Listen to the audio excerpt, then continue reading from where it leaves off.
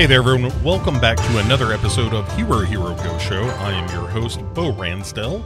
Um, first of all, I want to say thanks to everyone who is new to the show. There are definitely some of you out there. I've seen the numbers, I can prove this. Uh, so thanks very much for joining us. Um, this will be slightly different from the Sion Sono show we did in the last episode. That was just me talking to you about uh, the film Tag and trying to provide a little bit of information and context for that movie. This time around, we are beginning another series. We wrapped up the Eye 1, 2, and 3 with Richard Glenn Schmidt uh, a few weeks ago. Now it is time to look at another uh, well regarded series in Asian horror history. That series, of course, is One Missed Call. Uh, the the tale of spooky phone calls and voicemails, and there is no one I would rather get uh, a spooky call from than the the gentleman who's going to be joining me for the entire run of this, uh, Mr. Derek Bourgeois. How are you, sir? I am very good, Bo. It's been a long time coming, I think, because I actually, you know, back in the day when we first started the talk, I was like, "Did you do this movie yet? Can I come on this?" You know, like. But I think this is a perfect time for me to come on, and this is actually a film uh, that I always wanted to talk about with somebody before, and you know, it was great that This actually was the first movie that I actually appeared on, so uh, that's good. And you know, I I seen two out of the three films out of the series, so I'm excited. You know, yeah, I'm in the same boat. I haven't seen uh, One Missed Call Final yet. And as we were, we were talking before the show, there's one missed call and one missed call two. Uh, then there's a television series that happened after one missed call two that is notoriously difficult to find. And I don't know that we're going to do much coverage other than to say that it exists because we can't really find it. And so, listeners out there, uh, if you are uh, a fan of this show and know how to get your your filthy little mitts on a copy of the One Missed Call limited series that aired in 2005 on Japanese television, I would very much love to see that. Um, but you know, we'll see. You can hey, you can find me at uh, bo bo at legion podcasts.com. So if you run across such a thing or you have a line on it, give me a give me a yell at that address and uh, uh, we'll work something out. So, um, but yeah, I, this is exciting, uh, not just because you're on, and and you're right, that was sort of an inevitability. It was just a matter of when. But talking about one missed call is something I've wanted to do for a while because one missed call is.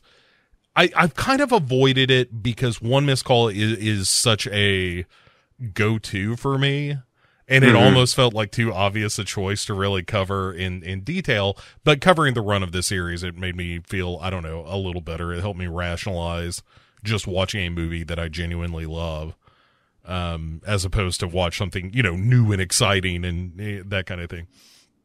Um i just when, when did you first see one missed call? I mean the, the movie originally came out in 2003 and i think i saw it maybe the next year I'm not sure what year I seen it. I remember uh, you you heard of FearNet before, right? Yeah, yeah, yeah. The no longer with us, I think. Yeah, yeah. They had like the the Comcast service with uh, Comcast for a while, where they had the on demand option, uh, and that's when I first saw it. It was on that uh, banner of the FearNet network, and uh, yeah, because they had a lot of like J horror there. They, you know, uh, I think I saw Ju-on there originally first too, and yeah. there was a bunch of them. And uh, I think that was maybe a few years later after it came out. I'm not really too sure the exact year, but uh, yeah, I was like, telephones that kill. you know, it's great. Sure. well, it, right, and it feels very J horror in that sense because you had you know VCRs with the Ring here comes one missed call with telephones. Uh, you know, new newfangled cell phones are going to kill you now. Um, you had Pulse, which was sort of just computers and technology in general.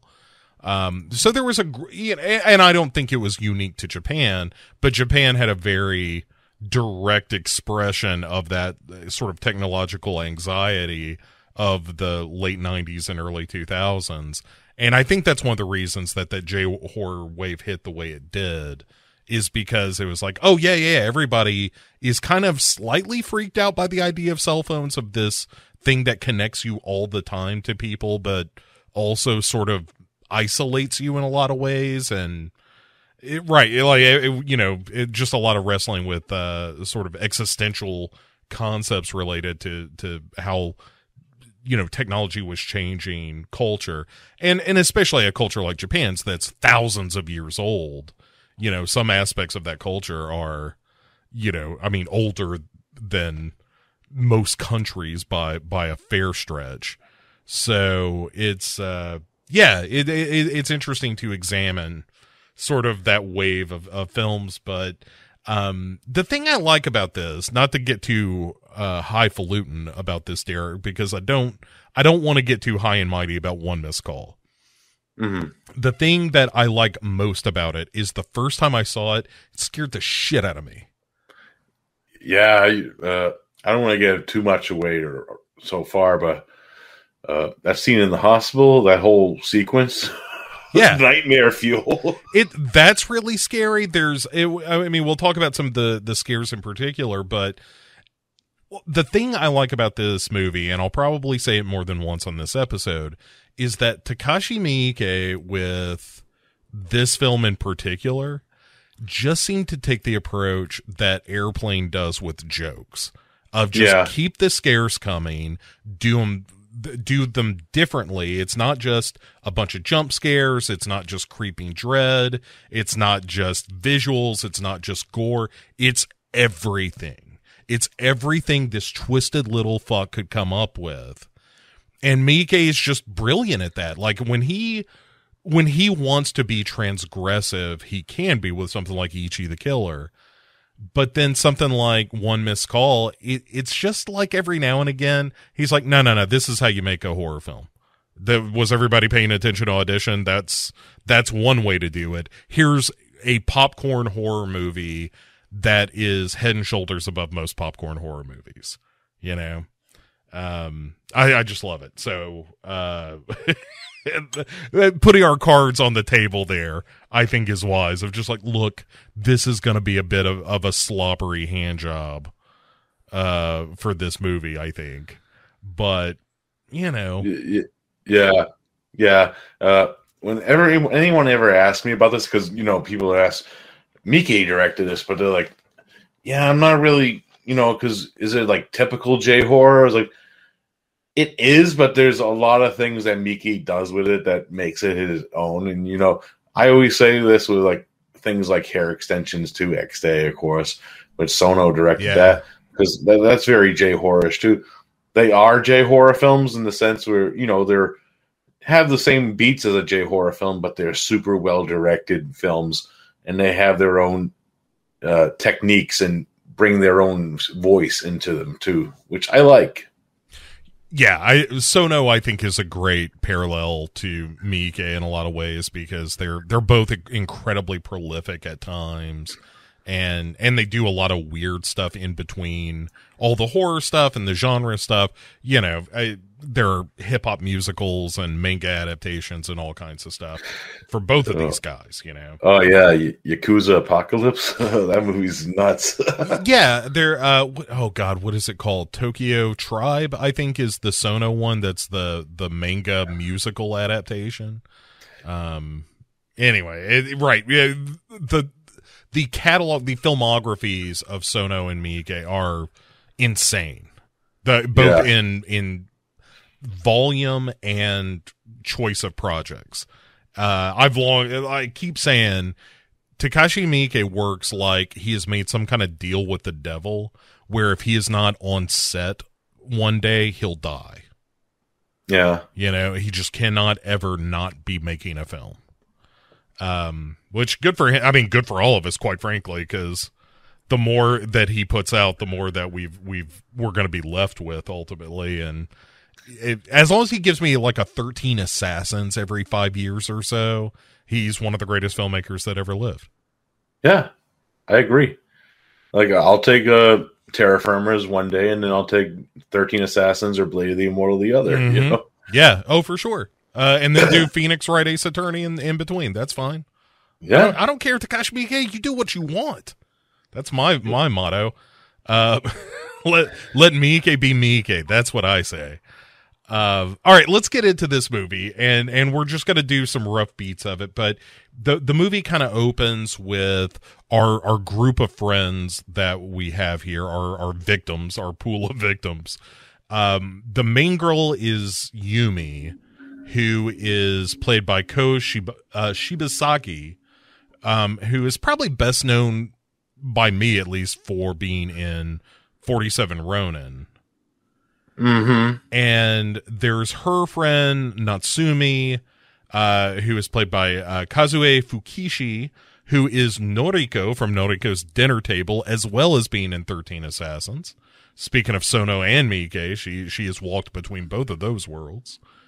Um, and this is uh, just to give it some vitals the, uh, Takashi Miike this same year he made Gozu, oh, which which is one of four movies uh, that he made, including the Man in the White Shirt and the Man in the White Shirt, uh, or the Man in White and the Man in White too, both in the same year he directed. Yeah, Gozu, aka Twin Peaks with milk.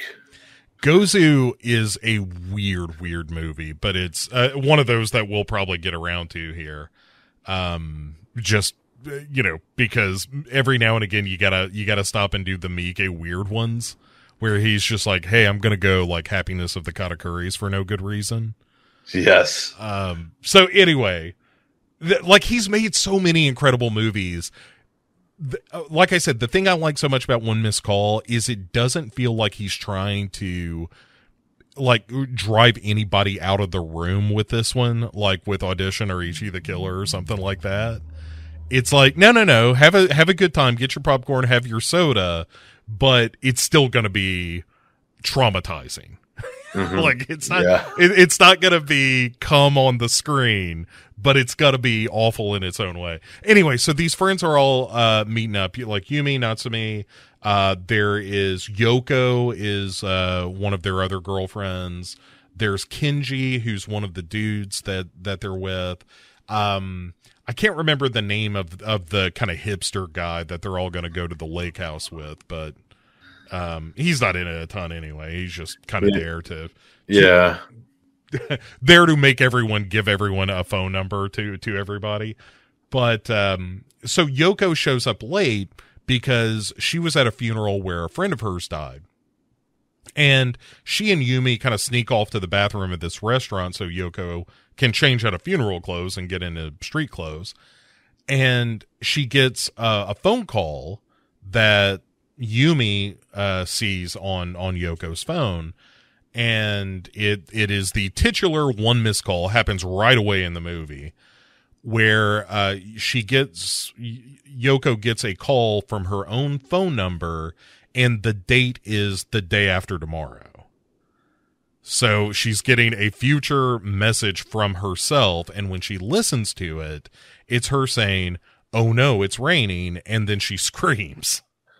Yeah, so good. yeah, and she's like, "Huh, this isn't me, right?" And then they cut to them sitting around the table and kind of talking about this and everybody's passing her phone around and they're like no this is you and she's like no it's not it's impossible and it's weird but they don't take it super seriously mm-hmm. and then we have the hipster dude who's like hey everybody uh let's let's plan a trip to the lake so make sure everybody's phone numbers are shared around because that's going to be important to the story uh, it's like COVID all over again. Yeah, right. so, but uh, the thing I like about this scene is right off the bat, it goes for some nice creepy scares, like uh, when one of the dudes is, is telling the story about uh, telling kind of a ghost story where he's like, and then she felt a hand on her shoulder, and you see on Yumi's shoulder this hand like reach out and grab her, this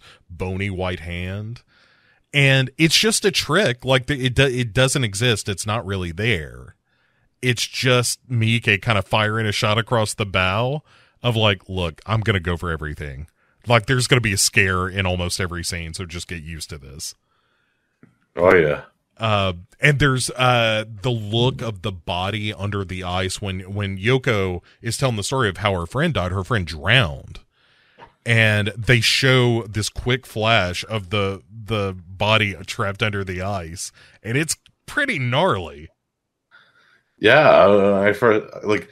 Uh, I didn't realize that that what it was when I first seen this movie years ago, and then when I'm watching it like on the new Blu-ray, like, whoa, Yeah, it's like it, it looks great. it does. It's really good. And then uh the other thing I really like about this and and I think I don't know who was the genius behind this, but the ringtone is that perfect kind of creepy where it sounds kind of normal but there's something kind of off about it. It's it's like a music box kind of tune or something. I I love the the ringtones for the like the original movies. Uh, I hate the one they did in the well, fuck the remaking altogether. We're not gonna get into that. Yeah, yeah, yeah. We're we're gonna pretend that doesn't exist. It's such a terrible remake of this movie, but yeah. Um, but yeah, I, uh, but that ringtone, that dun dun dun dun. Oh, it's so good. And it starts off with that weird like ding Yeah, the whole tune. Like it just sounds menacing, but there's something playful about it. And when they reveal what it actually is, and later in the movie, it's like, wow, that, that must have been a fucked up TV show. right. Yeah. What kind? What kind of horrifying, like tiddlywink bullshit is this? What or Teletubbies? That's what I was looking for. Um, yeah. It. But for an opening scene, it really does a good job of kind of setting everything up, but also not skimping on scares right away. Like this is not a slow burn movie. Th- this gets into it right right up front. mm-hmm.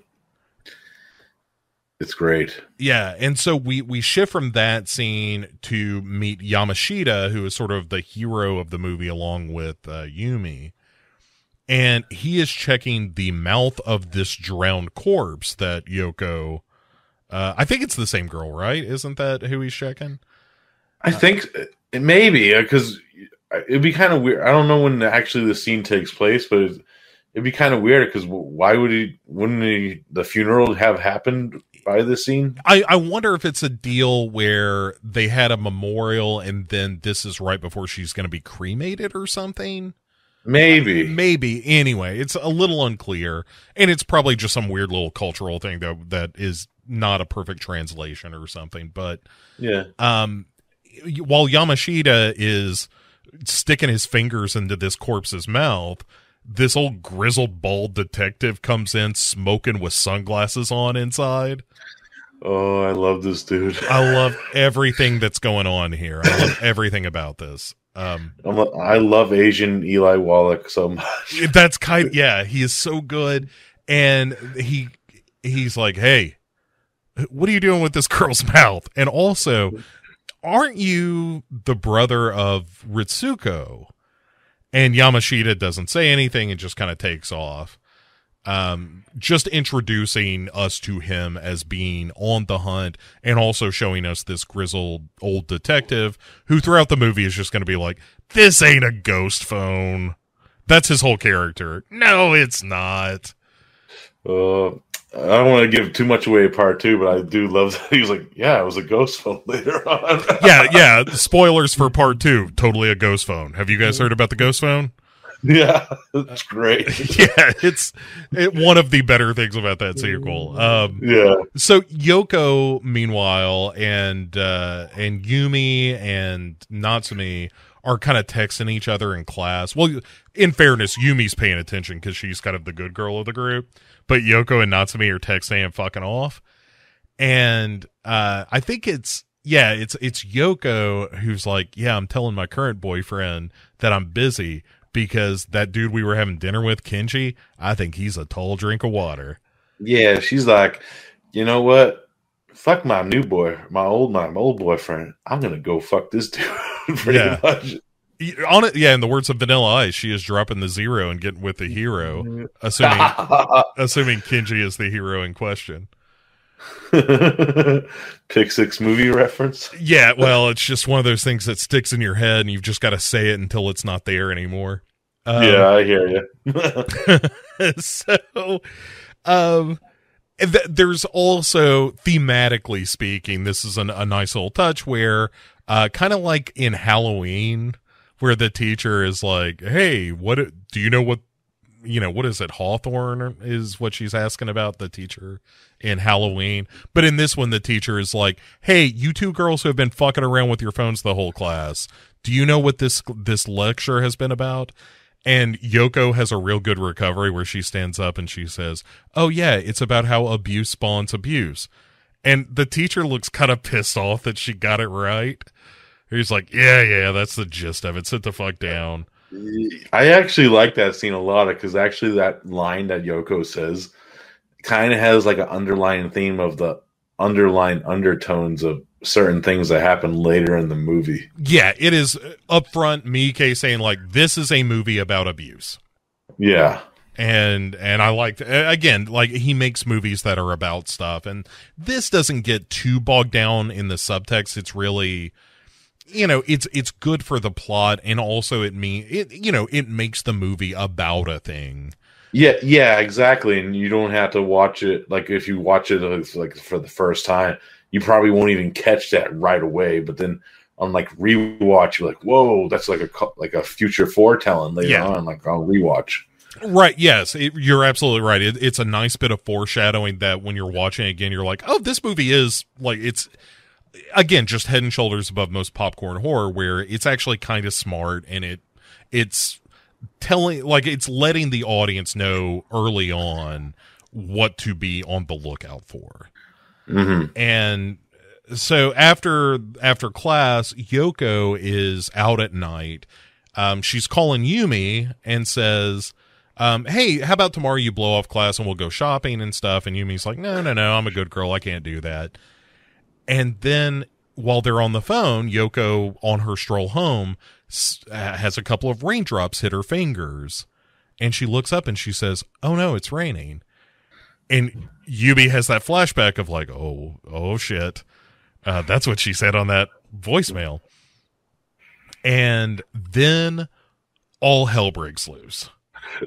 Just just when the the chain link fence starts to cut open, you're like, oh no.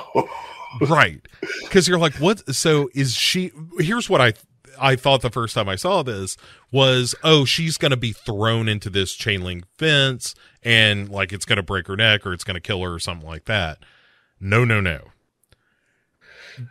this thing pops open and she gets thrown with ghost force through this guardian fence so that she can land on a train that's moving below her but not before hitting like the electrical pole that powers the train. So it sparks, then she hits the train, then goes flying. Oh, it's so brutal. you know, like when you hear it later, like she wasn't even dead yet. like, what? Right. The, the fact that that is an element of all the murders is like, oh yeah, yeah, they don't die right away. They ha- they suffer for a little bit. It's like, oh my god, this is terrible. um, and so, the whole scene ends with like her severed hand is texting the next person because that's how the ghost passes on to its next victim. I, I kind of like that aspect. And that's a really cool way to end that scene. Dude, this severed arm dialing the next victim is one of the raddest things in this mm. film for me. I love it. It is so, so metal. Good. I love it so much. And so now we cut to this funeral for Yoko and some schoolgirls outside the funeral are gossiping about uh how like she died all slow and painfully. Like that's right away we get that information like oh yeah she didn't die right away. Like when they found her she was still begging for help and then died because this movie has n- no sympathy or mercy for its characters at all. And oh. and Yumi overhears this and and she overhears them saying it's like the other girl. And she's like what what are you talking about? What other girl and they say well let me ask you this let me answer your question with a question did your friend get a phone call from her own phone number and yumi's like the fuck yes she did And they're like, yeah, yeah, yeah. Rena, that girl who drowned, she got the same phone call and she knew Yuko, Yoko. And so it spread to Yoko's phone like a virus. And uh, one of the schoolgirls is like, oh, yeah, it's a girl who died full of hate. And she goes through the phones of the victims to find the next one. And and the scene kind of wraps up with uh, a look at Yamashita uh, kind of eyeballing this and following them too. But it's kind of an exposition dump of, hey, here's what's happening in the movie. Yeah. Um, but it's pretty good and it's creepy. It is. It's it's really interesting. Uh, I I just love how you could tell this whole girl squad's like a clique because they're all wearing the same outfits that are opposite from anybody else in the school. Yeah, and yeah, they're like, yeah, you know, this is just a curse. It just happens. Like like it's a normal thing in Japanese. Right. in Japan, like there's always a curse, you know. Yeah. Look, my cousin died too. A different curse, but still a curse. yeah. Did. Didn't have a phone or nothing. Got a VCR and popped in a tape. Seven days My- later, fucking my- dead. My my sister got went into a house and died. You know. Right, just taking care of some old lady at a house. The next thing you know, she's missing for months now. I don't know what the hell happened to her. Every time we go near the house, we hear croaking. I'm not going in that joint. exactly. So Yoko, uh, I'm sorry, I'm sorry, Yumi, uh, meets up with Kenji, the the would be boyfriend for Yoko, and he's he is definitely not psychologically well at this point. Um, he's very nervous. He's real neurotic, which is right because he got a call from Yoko's phone. And he's like, you know, this is pretty stupid, right? And Yumi's like, I don't know. This seems pretty legit. And he's like, no, no, no, it's not legit. Cause I mean, I got one of those calls and nothing happened to me yet. And he shows Yumi his phone and she's like, this is like five minutes from now. like, what? What are you doing up here? And he got he got the same kind of call where he got a voicemail of just him uh, screaming, uh, hearing something screaming, and uh, the elevator door. They're on top of uh, this kind of like open air restaurant kind of cafe deal, Mhm. and then a re- uh, the elevator opens up for them to go down, and it's just like a spirit world or something. It's just inky blackness, but there's some business going on in there too. Yeah, uh, like like like if you watch this like on the old DVD, you couldn't really make it out, but there's like more like things going on inside that elevator and like the new transfer that they did, and you can see it clearer too. And it's like, whoa, what the fuck is that? yeah, it looks really good. The, by the way, I think both of us were watching this new one missed call of the Arrow uh, Blu-ray trilogy. Man, it looks good. It's a, Yeah. bo- a, a two in particular. Like one looks really good, but there were moments in two where it was like, man, this looks great. It's not my favorite in this series by any stretch, but it looked real nice. Um, but yeah, this elevator sequence, it, it's almost like they're like snakes or something moving in there, but you can't ever quite make it out. It's really a nice effect. And then Kenji just gets sucked into the elevator and uh, falls to his death. Uh, well, but not right away, of course, you know, because the curse is such that he falls. It, you know, has every fucking bone broken and just lies there moaning. But before he gets sucked in the elevator, you hear this quick, quick, and then he gets sucked in. yeah, it's a little hint to what's coming up. Yeah. like a- yeah i like in, in very j horror fashion like this is like you know pulse and the ring and all that stuff of this time where it's like okay we're going to establish this creepy curse thing that's happening. And now the mystery is what's going on? How do we stop it? And Yeah. and so we know kind of what's going on but we don't know this the spirit behind it. And that becomes much of the thrust of the movie um especially when like yumi is then questioned by this detective, uh, the old grizzled detective, Japanese Japanese Eli Wallach, as you said, um, where he's like, "Look, this isn't a bunch of haunted phone bullshit. Every death is explainable," is how he puts it. And Yumi's like, I don't know about this. This seems pretty ghostly. And he's like, no, no, no, no. And so Natsumi and Yumi decide that they're going to have a sleepover. And Natsumi gets uh, a call on her phone. It's uh, she gets another curse call. And this time though, Derek, it's not a message. It's a picture. Yeah. And it's a picture of Natsumi with a wall behind her and like the crown of a head and fingers are And coming it- around the corner. And it moves. Yeah, and it right, and it peeks out like a little hello, and Toasty. yeah, curse calling, and and and Natsume naturally freaks out like you do when ghost pictures move on your phone, and uh, Yumi uh, is you know obviously uh, upset as well. She goes to find Natsume the next, uh, or she and Natsume go the next day to a phone store, um, where they make sure that they erase her phone, Natsume's phone, and recycle it to try to like, hey, we're gonna get rid of this uh, whole problem by getting rid of the phone. Um, but not before. Oh, I did skip one little scene here, which I really enjoyed, where uh, Yumi is is at school with Natsume. And she Yeah. finds Natsume surrounded by a bunch of girls that are like, "Hey, get your number, get get my name out of your phone." Get my name out of your phone now, bitch. Yeah. I'm gonna rip your head off. right and and uh, Natsume is obviously upset by all this and she's like fine fine i know you all want to and i love that one girl that's like look i'm just just in case right like it's I, this isn't personal i just don't want to die because one every now and again we text like i haven't heard from you in like two and a half weeks and i'm not Yeah. i'm not prepared to die for you All, all our ex boyfriends are like, please take your number out of my, your phone right now. Man, I would. It follows that shit up. I would every mm-hmm. ex girlfriend that did me wrong. Like, yes.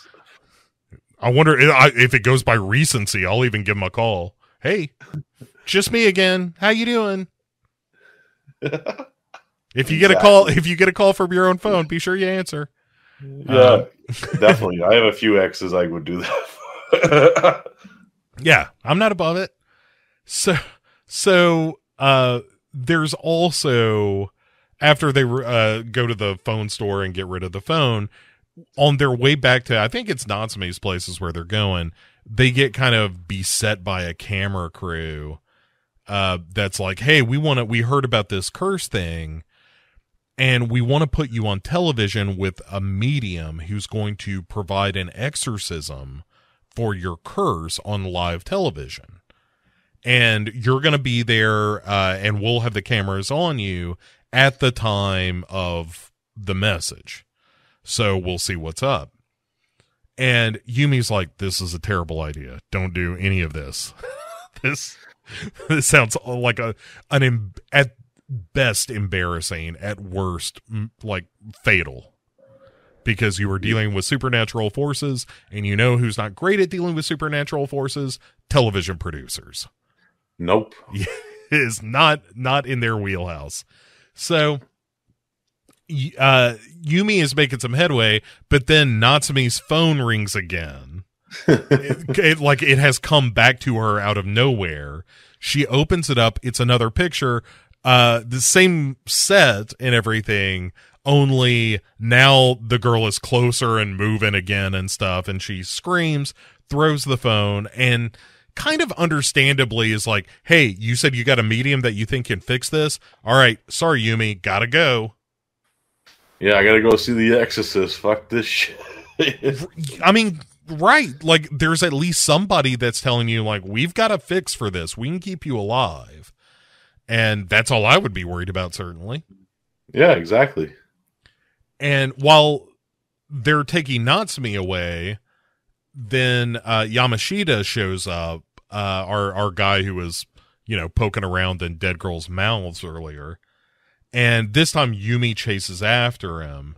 and they finally have this moment where they kind of compare notes where Yumi tells him all about Natsume and and the message she's been getting and he's like yeah yeah yeah all these calls are happening like the calls to the next victim are happening after the death of the first victim or the previous Mhm. victim and that his own sister Rid, uh, Ritsuko that the detective mentioned earlier died in a fire uh but again not quickly like she got terribly burned taken to a hospital where the way he puts it is the doctor said it was a miracle that she was even alive it was no miracle like she just suffered until she died Yeah. and and also found this red candy stuffed in her mouth. So here's another piece of the mystery. And they track down a, a call from his sister's cell phone to a hospital where they see an ad for the show that Natsume is going to be on. And while they're kind of in this hospital, and it's sort of a dead end, they don't really get much information. But while they're there, Yumi overhears a kid sucking on an inhaler for asthma. You know, one of those quick, quick, and and sucks on it. And she's like, "Hey, that's the noise I heard right before Kenji got sucked into the the elevator." Mm-hmm. And so y- Yamashita says, "Hey, I think we should take a bra- a break and go to the apartment of the weirdest dude I know." that's uh, that's a great way to get a woman. Yeah. when you first, let's go meet this weird dude I know. Yeah, here let me let me tell you this internet pal of mine who has r- photographic records of all these bodies brought in. And so they go to his place where he is scrolling through death photos. And they're like, "Yeah, this doesn't look right. This doesn't look right. We're looking for somebody that maybe would have needed an inhaler or something." And he's like, "Hey, what about this girl? This 10-year-old girl who died of an asthma attack named uh Mimiko Mizunuma." and Mhm. they're like, "Hey, that sounds that sounds like uh, a pretty good lead." And they also find in the phone the phone number to Marie Mizunuma, who is the mother of Mimiko. Yep. And so while they're kind of like, "Hey, we got a real lead. We we kind of know who maybe the spirit is. It's it may be the mother, maybe the daughters, but we're we're getting somewhere." And while they're putting all this together, this fucking weirdo starts taking pictures of Yumi. Yeah, this is the weirdest scene ever. This is like the guy from Hair Extensions. Yeah. Uh, hey, uh, hey, uh. yeah. Oh, It- I love yeah. that dude. Oh, it's so funny. Um, but he starts taking pictures of her and then takes a picture of Yamashita as well. And he says, Oh, I'll have these on file just in case something happens to you two. Oh, Yeah. Fucking taking death photos of him while while in his apartment. uh, You know, like you do. yep. and Yumi, there's a really cool scene here. Uh, it's not so much the information that you're getting, but I really like the way this is presented, where it's Yumi calling Natsume to tell her, like, hey, we're kind of at zero hour. You're about to go on television. Please don't do this. But they cut from Yumi's end of the conversation to this other guy on the phone that is saying totally different stuff and you're like wait is she talking to him she's talking to Natsume but why are we focused on this guy on the phone and then you realize that it's a television producer who is leading you into Natsume's dressing room where she's on the phone with Yumi Yeah. it's just a neat little director trick that I, I really like in this movie. It again, there's no reason to do it other than for Miike to just kind of show off a little bit. But I'm totally fine with that. That's you know that, that Spielberg does it all the time. I like a director that has some flair. Yeah, I, I like that scene too a lot. Yeah, It's really good. and Natsumi, of course, is like, look, I just I I understand where you're coming from. I just want to live, and I again totally understandable. Yeah, it, it's totally like she's just trying to do what she thinks is right at the moment. You know, she might not know if this might work, but hey, it's better than not trying. You know, right? And she kind of asks Yumi, like, "What? What's your suggestion? What? What should we do?" And Yumi is telling her, like, "Well, we found these records of Mimiko and her, sister Nanako was in the hospital a lot, and we think maybe the mother was abusing her kids." And she's like, uh, yeah, great. How does that help me right now? And they're like, eh, well, not so much right now. But we really think we're onto something. we might have something, you know, but we don't know yet. You know, it's like a Scooby Doo episode at this point. Maybe, right? yeah, we like we know that definitely Farmer Henson is involved. We just don't know how. Uh, those meddling kids. Right.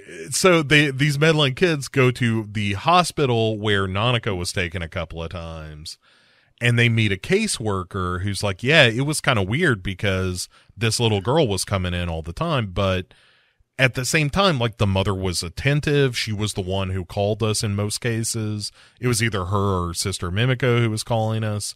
Um so, you know, but yes, it looks bad on the surface, but based on all our investigation, like this mother wasn't doing anything wrong. And it's uh, Yumi who's like, maybe it's Munchausen by proxy, which was incredibly popular as a thing in movies in the 2000s. Yeah. it like it popped up a lot for some weird reason. Like that was a thing that hit the zeitgeist the world over. Where it's like, wait a second, that's a thing? Munchausen by proxy? Well, fuck, I'm putting that in this screenplay. Yeah, um, let's do it. Why not? Yeah. And and for those who don't know, Munchausen by proxy is just a um a, a, a sort of psychological psychological condition where a caregiver will hurt a child or uh, you know, uh, like an elderly patient or something like that, um, to making them sick enough to require attention so that you can be sort of the good Samaritan and swoop in and nurse them back to health and that kind of thing. And it, it's sort of craving the attention of being a, a savior to a child or something. Uh-huh. And the caseworker is like, "Oh, well, you've been you've been reading psychology today. Yes, that is a possibility. I hadn't really thought about that." Yeah, you see, Yumi's really, really into this conversation too. Which I think does that reveal happen before they go to the movie theater? I mean, the TV studio. Or? Um, it hap no, no, no. It happens kind of like the full reveal happens later at the hospital. Uh-huh. But like there's some hints along the way like they talk about how she doesn't like to look through peepholes because she's afraid she's going to see something scary and there there are definitely elements of abuse peppered in but you don't really get until she has the conversation with Yamashita later um that like oh she is the victim of abuse which is of course what what the case is. Yeah. So one of the reasons, yes, that she is so knowledgeable about all this stuff, and she's like a social worker major. Like it's clear she her life is sort of coming to terms with the abuse she suffered as a child, mm-hmm. and wanting to make up for that in a lot of ways, and and so forth. And they, uh, Yumi and Yamashita go to this Japanese Eli Wallach again and they're like, "Hey, here's what we found about you know the Mizunuma family. Also, Natsume is about to go on television. We think this is a bad idea. Can you do something?" And he's like, "Look, I don't investigate crimes that haven't happened yet. What am I, a precog?" Minority Report reference. uh, but yeah, he's just he blows them off, and they're like, "All right, fine." And then comes kind of the big centerpiece of the movie. Oh, it's my favorite part. It's, it's fucking so good. Like there's just nothing not to like about any of this. It's the the Natsume television appearance. Um I, don't. It's difficult to kind of describe. It, it reminded me a lot of Ghostwatch in a lot of ways, like the end of Ghostwatch. But like the the medium tries an exorcism, and when the time comes and the phone rings, he just gets blasted with ghost force through like the wall of the set, and a thunderstorm starts happening inside this television studio, and and it's just chaos. It's nuts like you know and then you know uh, uh, the girl ends up pulling like one of the sheets that was on like one of the walls and then the fucking reveal is that was the wall in the photo the whole time. It's like Right. whoa. Yeah, it was a wall inside the studio, and so Natsume uh, meets her ultimate end, which is to literally twist to death. It's so good as her body and bones just start cracking as her her limbs start contorting in directions they are not supposed to. oh it's so good. Right and and the big guitar solo ending of this is that her head just twists off her body. You don't see it. You just see her head hit the floor and then her bo- her headless body walking dumbly behind her before it collapses. Oh, it is nuts. And this whole scene is like 10 minutes long?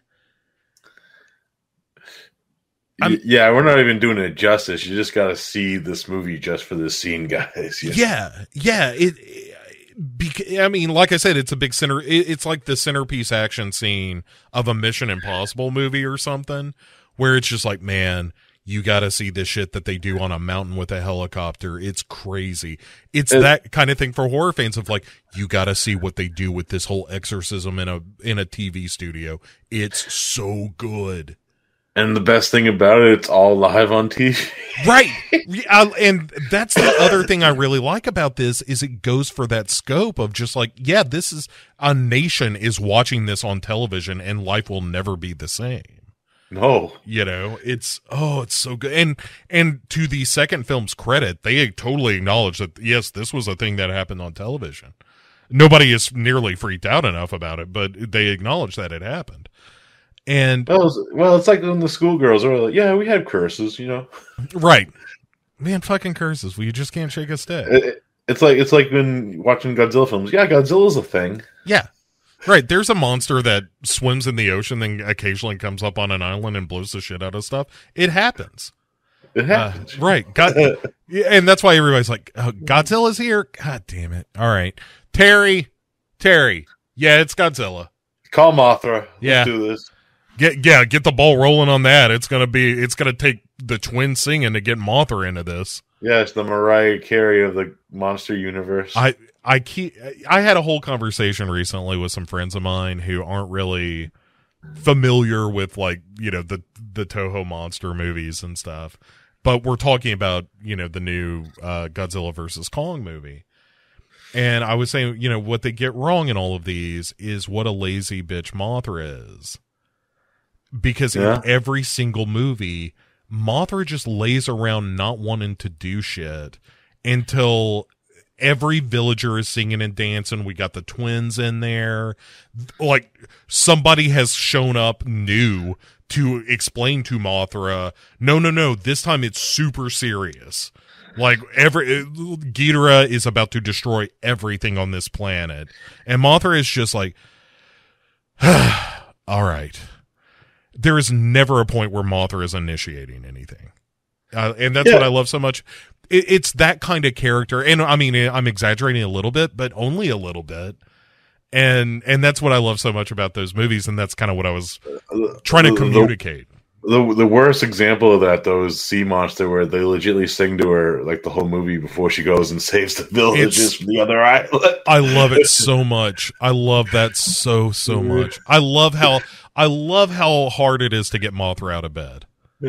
She's like, I'm not helping these fucks. They got kidnapped. I don't give a fuck. Pray for me, bitch. She's Yeah. like a diva. She's And- like the Mariah Carey of fucking. Absolutely the diva and and constantly is like you know, hey, Mothra, can you go tell Godzilla and Rodan that we need them to work together for a few minutes?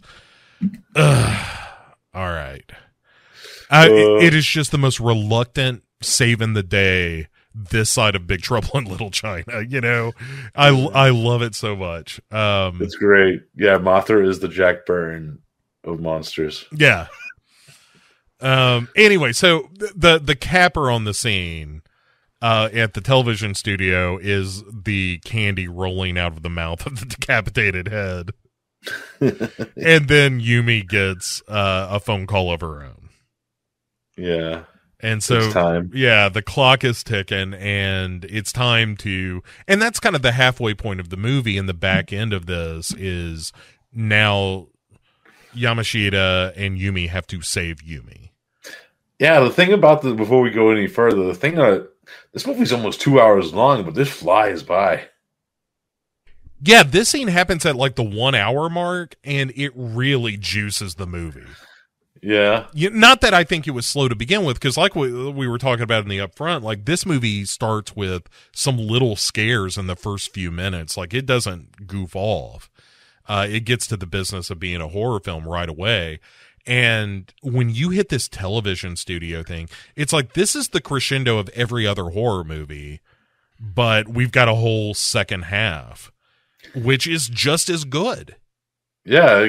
It feels like it's two movies split into one because the first half is like you know this like like we said it was like a, more of like the straightforward horror stuff, but then the second half's like the mystery of trying to find out what the horror is, and then you know you get a little scare uh, scare fest finale too. You know. Yeah, because uh, so the, the breather here is that we have Yumi and Yamashita, and this is where we have the the conversation about her mother uh, kind of abusing her grandmother, and the reason that, and as well as as Yumi, like she wasn't discriminatory in that respect, but um, the reason that Yumi doesn't like peoples is her mother made her look through one to see her grandmother, her protector, swinging from a noose. Yeah, that, that's. I would not like peepholes either. Yeah, yeah, no, it's it's hardcore. That And- lady was a piece of shit. Right. And like I said, that's the breather coming out of the television sequence. Is like, oh, here's this old woman hanging from a, a rafter. And yeah, this this movie's dark. it, yeah, and and all right, and so then we go to we finally track down the the Mizunuma home, which is still abandoned, and I, I like the detail of the the guy who's uh the superintendent or whatever, who's like, yeah, we got to refinish all the floors. You don't have to take your shoes off. You can walk wherever you want in this joint. Um, and they they go inside the place is kind of a wreck but it's a wreck the way that any house with kids is where it's a lot of toys and crayons and papers and shit all over the place um inside they find some like bills and cut off notices and also a torn up picture of the family that Yumi is kind of slowly reassembling and there's this great shot in this scene of a cub a cupboard behind Yumi. And Uh-huh. you just see ghostly hands start to come out of it and start to inch forward like to reveal itself. And then Yamashi is like, "Hey Yumi, what's that behind you?" And like not afraid, just kind of looking at this open cupboard, and she turns around and there's nothing there. It's one of those like, "Hey, this didn't have to be a scare." But when Yumi turns around, of course she loses her shit. Uh, she's like, "Oh my god, it was a ghost!" And then Yamashita checks it out. It turns out it's not a ghost. Well, it was, but what the ghost was getting at is there's a uh, a video camera uh, in there, and uh, Yamashita is like, "Hey, this is another lead. How about you go home and I'm going to keep investigating." Uh, which happens for the remainder of the film is him constantly telling her, like, "Would you please just go home? I will take care home." of this." Yes, go to your home. Uh, but that ghost in the cupboard is so good. I love that It is. scare. It is. It's really good. And so Yamashita tracks down Nanako, the the surviving uh or or the one member of the Mizunuma fam- family that we can get our hands on. But Nanako's no good because she doesn't talk anymore.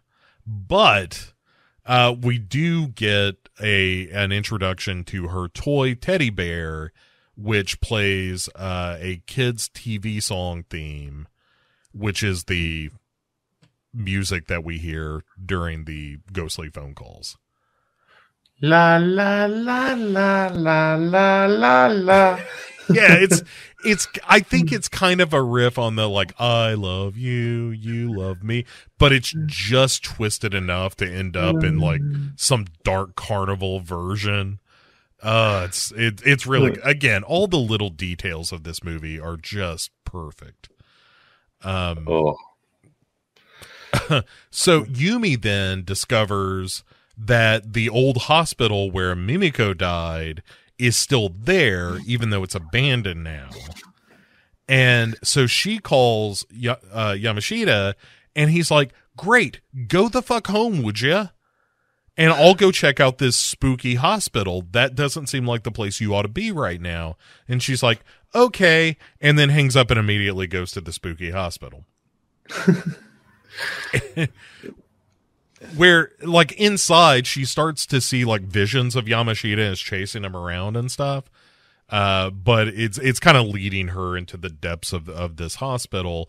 And there's uh, like you were saying earlier, this whole sequence is her kind of wandering around the hospital with all these little creaks and glimpses and stuff like that. It's incredibly creepy. it is. Uh, it's great.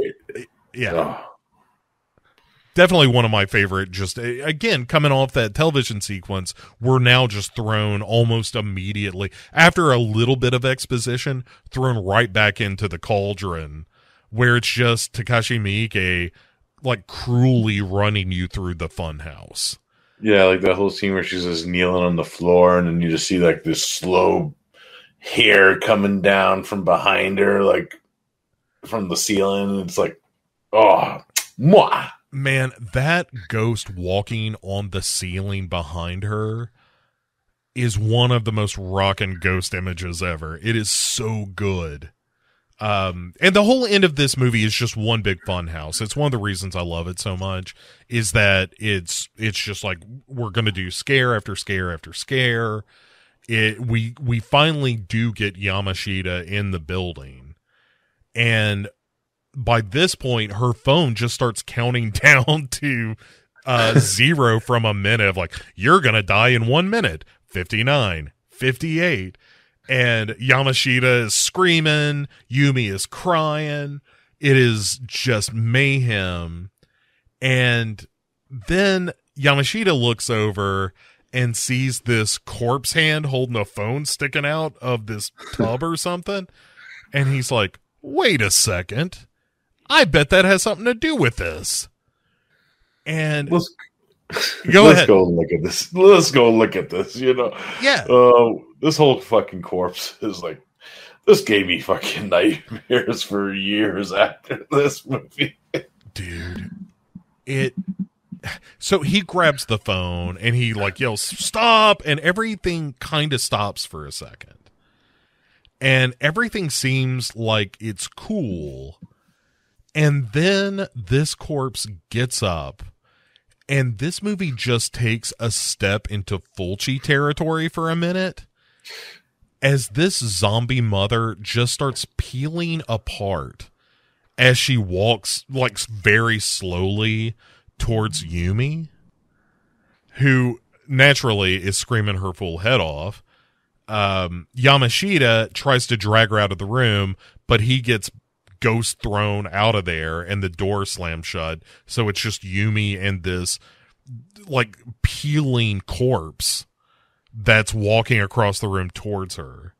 We should also add this is the corpse of Marie. Right. This is Marie Mizunuma, and she finally grabs Yumi and starts choking her. And uh, Yumi sees her mother in a flash, and like it's kind of the big emotional moment of the movie where uh Yumi is sort of recognizing and forgiving her mother and coming to a place of sort of forgiveness of of the abuser in the past so that she can release and and so forth. Uh meanwhile weirdly Yamashita's ghost sister shows up in the hallway outside to say every one of us has a different sky and then disappears. Uh huh. Um you know, I guess huh. I did like that the corpse was actually crying too. That actually kind of made me feel like, oh, yeah so all of this is is leading us to believe that ultimately yumi makes peace with her own past which settles the spirit of marie mizunuma to rest. Yamashita finally breaks into the room where he finds yumi literally cradling the corpse of this dead mother like an infant. You know that Yeah, cycle it- of mother and child is reversed here. Yeah, it's like the it's like the end scene of Relic. Yeah, yeah, very much so. And it and it I think it in the same way it is getting at the idea of this cycle of generational horror, you know. In that one you can't get away from it. In this one you can sort of forgive your way out of the cycle. And Yeah. that's what Yumi has done is she's released all that pain and anger and that kind of thing. And and thus uh, also put the spirit of Marie uh, Mizunuma to rest. And I then think it's gonna be a happy ending. right, like this is where the movie you you would think would end.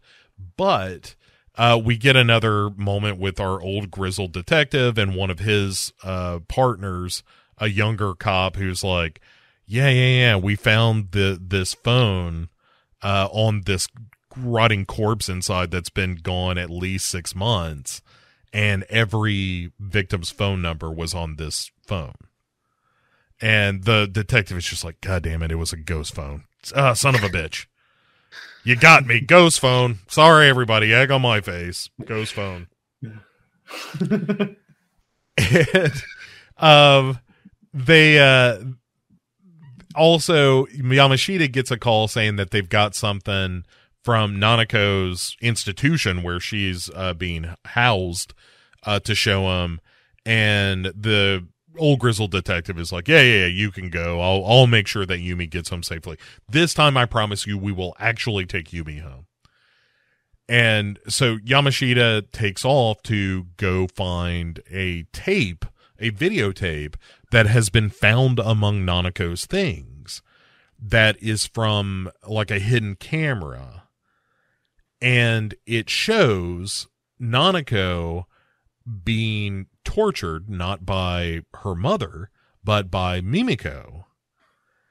And what we learn is that Mimiko was the one who was uh hurting Abused. Nanako. Yeah, Yeah. to to get the attention and she would give Nanako one of these red candies every time she hurt her. As sort of a like, hey, you know, th- you're getting something out of this too and uh also uh you know the mother when Marie when she walks in and sees Mimiko hurting Nanako and realizes for the first time, hey, all these trips we've been making to the emergency room, this little devil child has been responsible for all of this. Oh. Mimiko starts to have an asthma attack. And Marie is just like, you know what? This Fuck feels you. yeah, this feels an awful lot like a problem that's going to solve itself. Uh, Uh, so she just watches as Mimiko dies. Hence the the origin of the curse. yeah. And and oh, also this stupid bear is playing its song while Mimiko dies, which is why that's the the ringtone. Hmm Um, it's really gruesome. Like seeing a child choked to death on screen is really something. Yeah, yeah. It kind of reminded me like of the Zelda scene when Zelda dies in Pet Sematary a little bit. Yeah, it's Yeah. that kind of disturbing. Like, even though this child is terrible, like, part of you wants her to die, but also you're watching a 10 year old girl choke to death on screen. Yeah.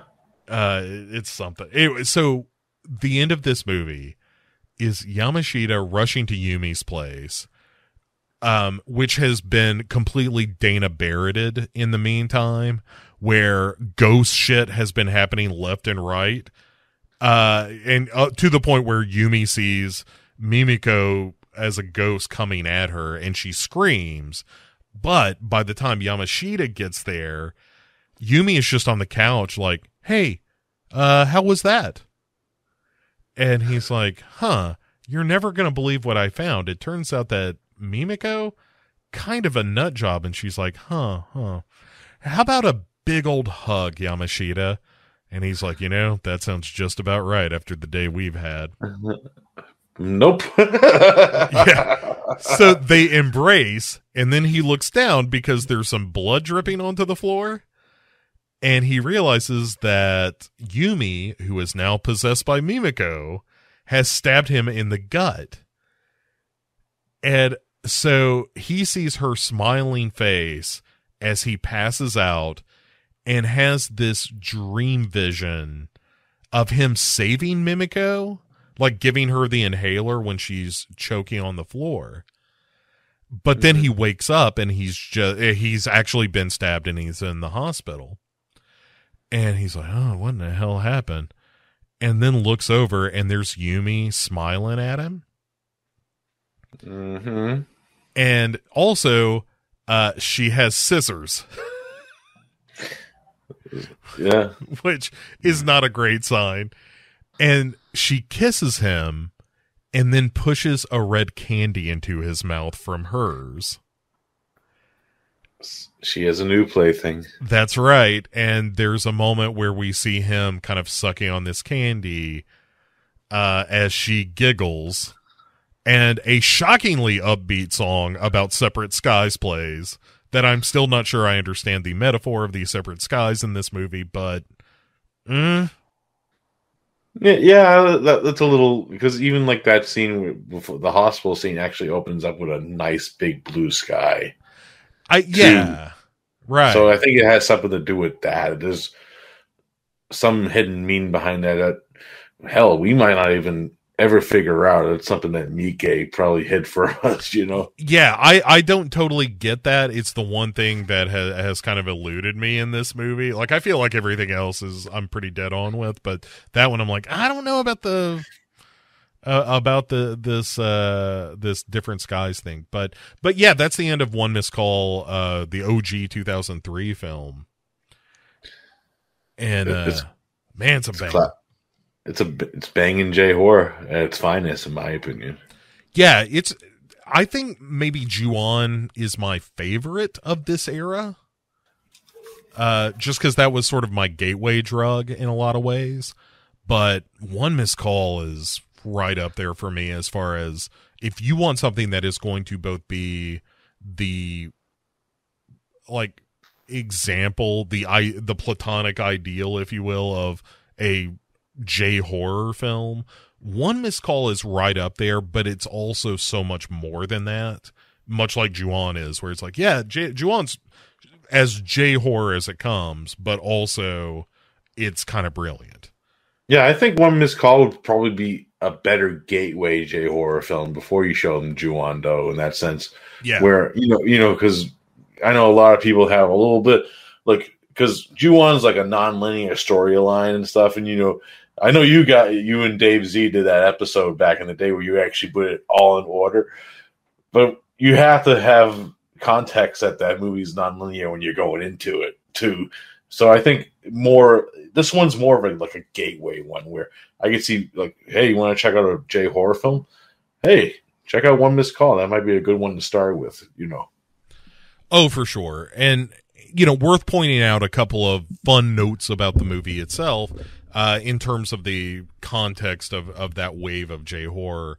Um, you know, there are some similarities it shares with things like, like Juon, where abuse is kind of at the source of the curse. And, Mhm. and you also see that in, you know, tons of films, even, um, Oh, I'm I'm totally blanking now. What is the old movie about uh the Japanese cat ghost? Oh, uh Karaneko? Uh, Kuroneko, yeah, is all about the same thing of like a you know a woman who and her daughter who are raped and murdered, and it's always this kind of like here's this moment of abuse or or or murder or tragedy, and at that point the curse is unleashed, you know. Yeah. And so it it definitely has that in common with uh, a lot of those films. Um, w- there's a nice thing that uh, got pointed out for me, which is at the end of the movie when Yamashita shows up and Yumi has been possessed, she is wearing a white dress and has her hair down, which is, you know, as we've talked about on the show any number of times, long white dress, long black hair, pale face. That is the stereotypical ghost in Japan, has been for hundreds of years. Yeah. And so it's nice that, oh, she's dressed like a ghost in this scene. Um, also, it follows in the tradition uh, set forth by a lot of movies from the 50s and 60s when Japan made the transition into mostly color films, where red is often the otherworldly and green is the earthly.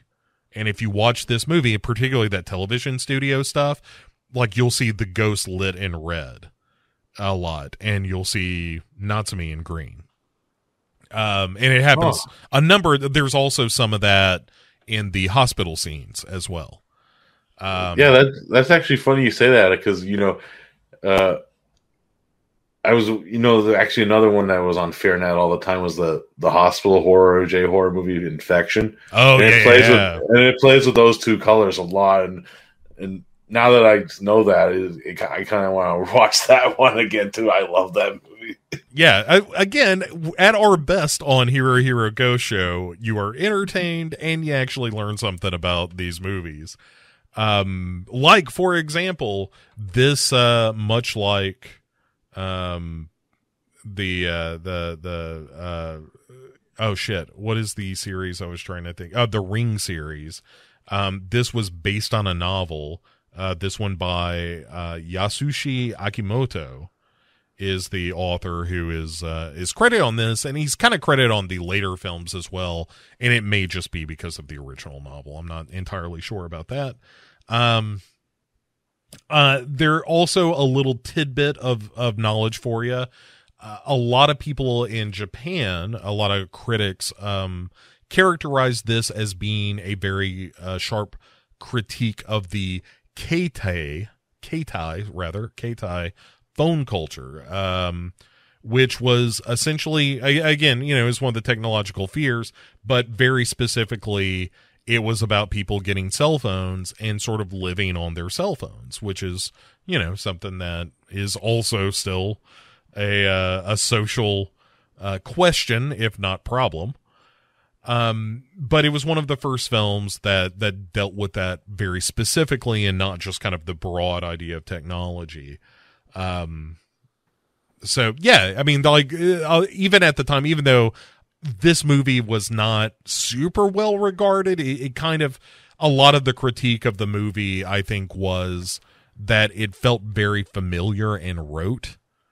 Um, Yeah. in terms of its structure, I would argue that hey, man, just because uh, you've seen Romeo and Juliet doesn't don't mean you've seen every version of Romeo and Juliet. And when somebody does it right, it's very cool and when somebody does this formula right i think it is also very cool Yeah, I agree with that.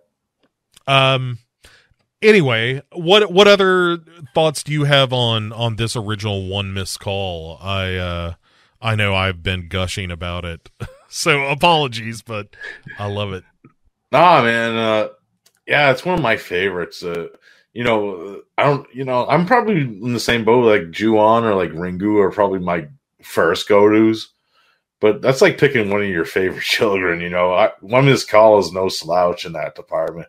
It's a great film, and you know, greatly directed by one of the masters of this genre of J- Japanese cinema in general. Miike holds no punches you know, and it's a great like like I said, I just pick up little things here and there on rewatches of this movie every time, and I appreciate that this movie for that. You know, like on my first watch, I'm like, oh, okay, yeah, oh, this lady's hanging from the thing. I didn't understand there was like a abuse angle when I first saw this because you know I was a younger lad when I first seen this movie.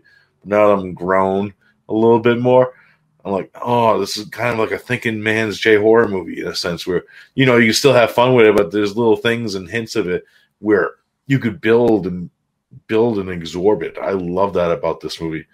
The color palettes are great, and it and it has some great scary sequences that still kind of chilled me. Like when that fucking lady starts walking, I'm like, you know, and we didn't even talk about that Yamashita is like this hits her with an axe. I'm like thinking that's a house by the cemetery reference. Yeah, you know, yeah. You no, it, it, it's there is no doubt in my mind in that sequence that that's Miike tipping his hat to Fulci. There is no doubt in my mind. And I love that about that because you know me because we did some of those lists of legends. Is, there might be a few Fulcis whenever I'm on, Bo. You Yeah, know? you know.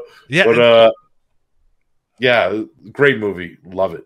yeah. It, it truly is. If you're listening to this show and you've never seen One Missed Call, this is one of those essential viewings. Like you have to see One Missed Call if you're interested in, you know, Japanese horror specifically and Asian horror in general. It's just one of the touchstones. It's one of certainly one of my favorites, but it was hugely influential. Um, you know, it spawned two sequels and a television series. That's how good it was. That's how popular it was. Uh, and it was, it was a very popular movie, not just, uh, in, in the home country of Japan, but, uh, when it hit the States on, uh, home video and so forth, it was, uh, it was very popular as well. Um, Yeah, every yeah every video store I used to go to always had copies of this one. Like you try to look for like Ju-on or something, Yeah. or like Ringu, they they be out of stock. But there's always. I even had my still my DVD set, which was from Tokyo Shock, which is actually not a really bad set for even a DVD set. But you know, Tokyo Shock did what they did, you know. But uh, it's still popular enough to have those. You see those everywhere still. Yeah, and I I can't stress again, uh, or can't stress enough rather, how good that Arrow Blu-ray set is. It's really nice, and I haven't I haven't dug into all of these special features, but what I have looked at have uh have been substantial and very good. Uh, I can I can pretty unreservedly recommend it at this point, uh, having not watched the the third Blu-ray yet, but uh, or the third film. Um, at any rate, uh, I think that is going to wrap us up on one missed call, uh, the the OG. And man, I'm a little reluctant. I, I hate to see it go because I know I know the next movie we're going to talk about isn't as good. Yeah, there's some problems in that one for sure. It's been a while since I watched that one. I'm going to be watching that one very soon, Bo. Yeah, uh, it- yeah. it- It's like the Giallo red. Spoiler alert: red herring. you know. there's a lot of that. There's the next episode. There, there's going to be a lot more of me saying like, "Is that right?" You know, of looking for verification. Um, because as much as I try to make sense of this movie, uh, the the second one, I mean, I I don't know that I'm entirely successful, but it it does have some stuff going for it, uh, for sure, and uh, and more importantly, uh, we are completionists by God. And when we talk about one missed call too, we are going to talk about the hell out of it. Hell yeah! So, uh, Derek, in the meantime, uh, we'll be back in two weeks to do that. Uh, where can people find you and what you do?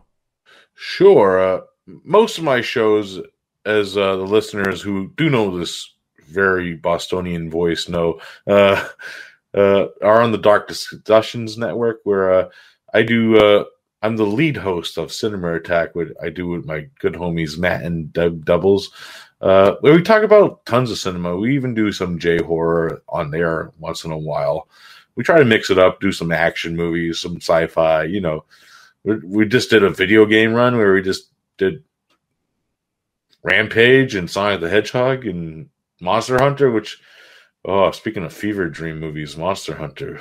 Really, I have I've danced near that flame, but I have yet to. uh I've yet to Uh, jump in. let's, let's just say this: Paul W. Anderson is definitely the Rob Zombie of video game movies. Uh, but but anyways, uh, you know, I'd also do their hair with Miss Lacey Lou of Cut to the Chase.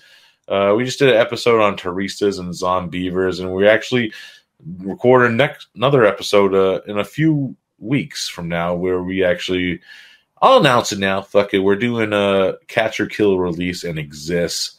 Uh, we're doing like a found footage style episode. So look out for that in the future. And uh, also, uh, No More Room in Hell, which I do with the infamous Mike Merriman, the man, the myth, the legend, Mike Merriman, and Mr. Venom, course, uh, which our next episode is actually going to be my birthday special and should be out by the time this episode is out. Uh, we are doing two films from the year of my birth. We're doing Witchboard and Chopping Mall. Uh, no, no theme in particular, just from the same year. I'm like, you know, fuck it. I'm just gonna watch what I want to watch. It's my birthday. Hey, but those feel like they're of a stripe to me. I I can. Yeah. I, I don't know that those are two unrelated. Yeah, yeah. One has a psychic hippie chick, and one has Jim Wynorski like "Have a nice day" as the robot voice. It's great. Yeah. Uh, Hey, but uh, I okay. really loved. Uh, by the way, Catch Kill Release. oh, good. I, I actually haven't seen it yet, so I'm Oh. curious to know. I I one of my favorite movies of that year. I think that was what 2015. Is it that far back? Maybe, maybe I- not. May, it might be 17 or 18, but it, it actually made my top 10 of the year because I thought the uh, the lead performance in it was so good, and and it was just it was so refreshing. I like I watch a lot of found footage shit because I Yeah. like the format, but it always does me wrong. it's never a good idea, but I I, do I, it hear- anyway. I feel you there. I feel you there, man. I'm I'm excited to see it now. You know, I was like, because I heard you know some people be like, some of my circles were like, "Fuck this movie," but then some of them were like, "I like this movie," and I like to hear some people that I always respected uh, say it was good. So that's good at least. So I'll, I'll, I'm I'm more excited to check that one out. I'll I'll be curious to hear your thoughts on it uh, because I I enjoyed that quite a bit. Um, Nice, nice. And uh finally, uh of course, on the Legion Podcast Network, our the show's kind of on a hiatus, but check out the back catalog. Underwater Kaiju from Outer Space, where we give you those visions from Monsterland, guys. Check that show out. It's a fun time. Uh, we do a kaiju movie, a sci-fi Toho tokusatsu movie, and then we do an episode of Ultraman. Uh, fun stuff. yeah, absolutely. Get get some Super Sentai shit in there.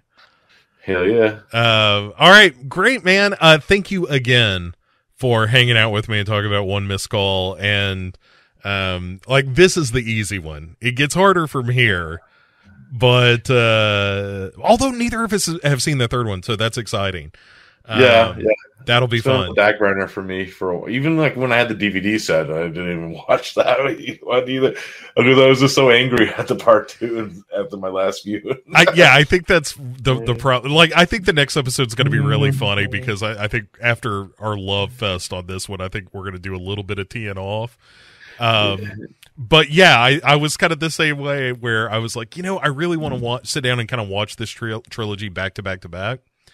And I hit the second one and I was like, you know what? I'm good for a minute. Let me just Yeah. pause. Let me just step away. And then I found out about the TV show, and then that became my new quest. Is like maybe I can avoid watching the third one by trying to find this TV show. the it would suck if we actually do find it, but there's no English subtitles. That's the worst. Yeah, I feel like there's enough of a subtitle database that we we could maybe get away with it. But worst case scenario, I will at least watch it without subtitles just to kind of get the idea of it. You Yeah. know, like I I don't my my Japanese isn't nearly good enough to translate by ear or anything. Um but, you know, I might be able to get the gist of it. Yeah, you never know. Although I could just uh what, what was it MXT? Was that it and just overdub it for myself? Just do like Wilford Brimley, like, God damn it, the phone calls me, God damn it. all, all these goddamn kids and their cell phones call me all the time. My own damn voice tell me I'm gonna die or something. I ain't gonna